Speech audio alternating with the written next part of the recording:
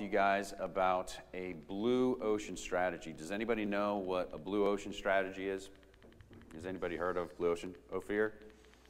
Um, blue ocean strategy is if you think about, going all the way to the front, there we go. All right, so if you think about an ocean and you think about you know, where all the fish are, where all the opportunity is to feed, that's where all the sharks are. And then the water becomes kind of bloody and red because all the sharks are there. A blue ocean strategy is somewhere where all the sharks are not yet.